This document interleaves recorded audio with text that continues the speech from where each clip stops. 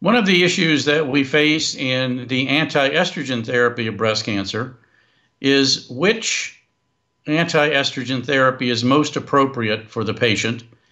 And the more difficult situation is a woman who is perimenopausal or doesn't have a uterus and therefore has no periods, obviously, or has just finished chemotherapy and we're not sure whether her periods will come back or not.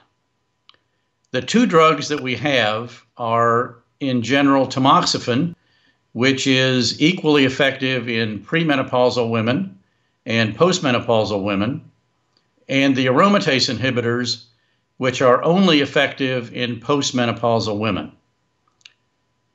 As a general sense, if there's any question about the menopausal status, one obviously is safer, safer with giving tamoxifen. We will sometimes draw hormone levels, such as follicle stimulating hormone, luteinizing hormone, and estradiol, to get a sense of whether the patient is physiologically pre or postmenopausal. If they're obviously postmenopausal by these hormone levels, then the aromatase inhibitor would probably be the better choice. The other common issue is a woman who has finished chemotherapy and the chemotherapy has stopped her periods. At that point, we don't know whether the future holds that her periods will return or not. If menstrual periods are to return after chemotherapy, in general, they would start within six months and almost always by 12 months.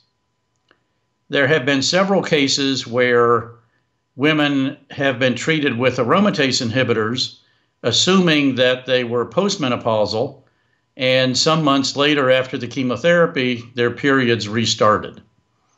So, if there's ever any question about periods restarting or the menopausal status of the patient, tamoxifen is a safer drug.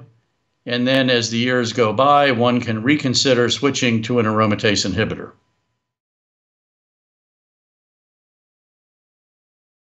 Hi, I'm Dr. Jay Harness, and I want to share with you important information that I believe that every newly diagnosed patient with breast cancer needs to know.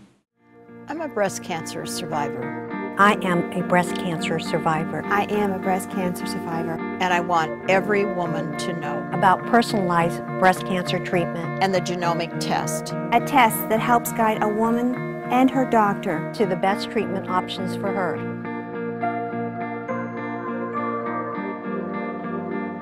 Pass it on.